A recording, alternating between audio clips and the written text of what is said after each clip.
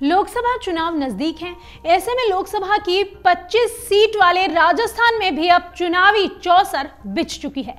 राजस्थान के लिए अब तक बीजेपी 15 उम्मीदवारों के नामों का ऐलान कर चुकी है तो वहीं कांग्रेस ने भी 10 सीटों के लिए अपने उम्मीदवार घोषित कर दिए। दोनों राजनीतिक दलों की ओर से आई लिस्ट के बाद अब 25 में से 8 सीटों पर मुकाबला आमने सामने का तय हो चुका है। इस बार भारतीय जनता पार्टी ने सात सीटों पर नए चेहरों को मौका दिया है और अब कांग्रेस ने सिर्फ़ 10 सीटों पर अपने नामों का ऐलान किया है और सभी उम्मीदवार नए हैं। यानी कि इस बार कांग्रेस ने नए चेहरों पर अपना दाव खेला है। कांग्रेस की सूची में शामिल राहुल कसवा और पूर्व सीएम अशोक गहलोत के बेटे वैभव गहलोत ही हैं जो पिछला चुनाव लड़े। चुरू से सांसद राहुल कसवा पिछली बार भाजपा के टिकट पर जीते थे और चुनाव से ठीक पहले कांग्रेस में शामिल हुए, लेकिन कसवा पर भरोसा जताया गया। भले ही राहुल कसवा अभी सांसद हैं, लेकिन कांग्रेस के लिए तो वो भी एक नया चेहरा ही है।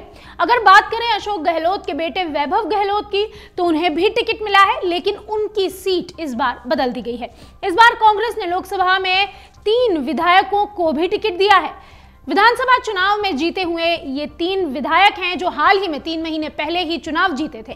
कांग्रेस की लिस्ट में वो तीन विधायक हैं, मुंडावर विधानसभा से विधायक ललित यादव, जिन्हें अलवर से मैदान में उतारा गया है। उनियारा विधायक हरीश चंद्र मीणा, टोंक सवाई माधोपुर सीट से चुनाव लड़ेंगे और झुंझुनू विधायक ब्रजेंद्र ओला झुंझुनू से प्रत्याशी बन गए हैं। अलवर से परंपरागत तौर पर लड़ते आ रहे कांग्रेस के राष्ट्रीय महासचिव भवर जितेंद्र सिंह इस बार चुनाव नहीं लड़ रहे हैं। यहाँ दो यादवों में मुकाबला हो रहा है। कांग्रेस से विधायक ललित यादव और भारतीय जनता पार्टी से केंद्रीय मंत्री भूपेंद्र यादव आमने सामने हैं और ये दोनों ही नए प्रत्याशी हैं। टोंक सवाई माधोपुर से कांग्रेस ने भाई की जगह भाई को टिकट दिया है। पूर्व केंद्रीय मंत्री नमो नारायण मीणा की जगह उनके भाई विधायक हरीश मीणा इस बार प्रत्याशी हैं। हरीश पहले भारतीय जनता पार्टी के प्रत्याशी थे। 2014 में दौसा सीट से उन्होंने अपने ही भाई नमो नारायण को हराया था और वो सांसद बने थे।